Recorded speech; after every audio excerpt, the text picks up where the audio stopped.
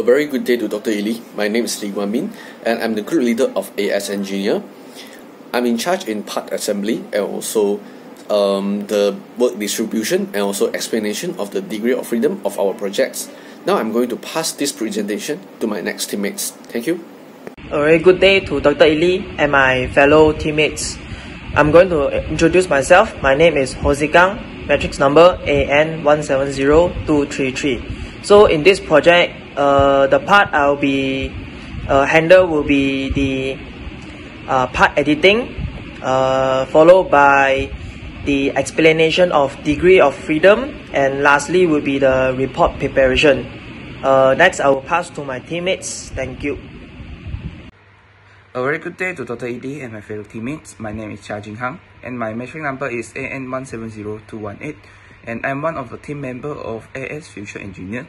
In this project, I'm in charge in the part of part editing and design uh, and followed by the report preparation and the last one will be the explanation of degree of freedom which is DOF. And now I would like to pass to the next presenter to introduce themselves. Thank you. Hi, Assalamualaikum and especially to Dr. Ili and also my friends.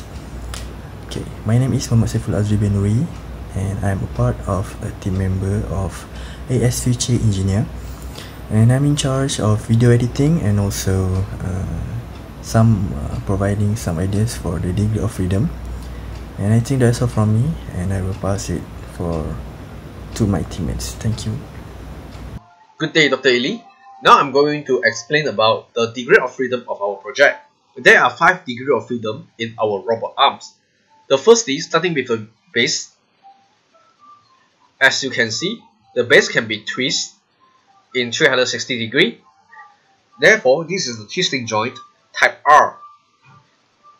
After I fix this base up, as you can see, there are two joints moving back and forth. The upper one and the lower one shoulder which is the lateral of the robot arm, have two degree of freedom, which is the rotational joint type R. There are two of it.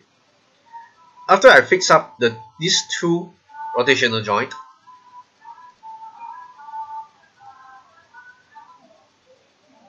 now this is the wrist of the robot arm. As you can see, the wrist of robot arm can be turned. So this is the fourth joint the fourth joint, this uh, joint is a twisting joint type R. Last but not the least is our end effector, which is our gripper. For a better view, as you can see, the gripper can be controlled with two finger over here. In order to make them move parallelly, so I have to zoom in. For the gear, I select the gear H and H and I'm using mate.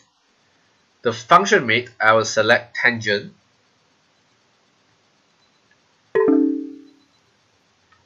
As you can see, the result turns out both gear move parallelly. This is the last degree of freedom of our projects, which is the end effector.